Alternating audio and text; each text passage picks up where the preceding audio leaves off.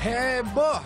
Begini nih suasana di Jalan Malioboro, Yogyakarta Kamis malam saat Presiden Joko Widodo belanja mainan di sana bersama anak, menantu, dan cucunya.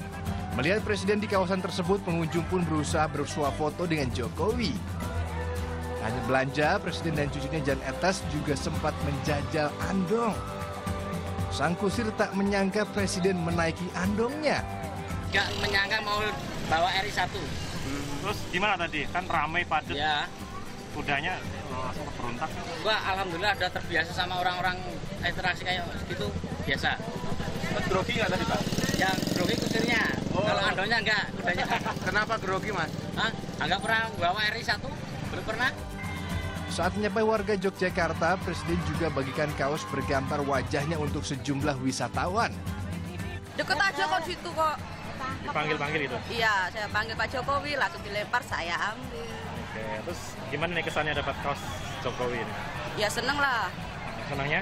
Senangnya kan baru pertama kali ini juga dapat kaos ini dan ketemu sama Pak Jokowi kan baru pertama kali.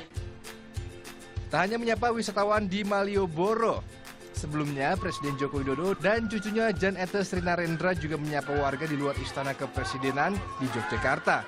Jokowi juga mengajak cucunya menemui warga dan berbagi sembako. Tingkah gemas Jan Etes pun mengundang tawa warga.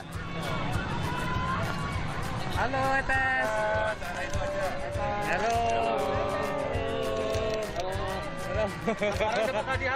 Dan warga yang awalnya hanya ingin jalan-jalan pun senang mendapatkan sembako dari Presiden. cuma dapat ini pinknya cuma salaman aja malah dapat kupon sembako senang lah Kenapa senangnya? ya dapat sembako dari Pak Jokowi Tadi ketemu langsung juga Pak Jokowi. iya tapi nggak bisa foto salaman tapi nggak sempat foto Presiden Joko Widodo menghabiskan libur lebarannya di Solo dan Yogyakarta sejak Rabu hingga Jumat ini. Andres Pamungkas melaporkan untuk NET.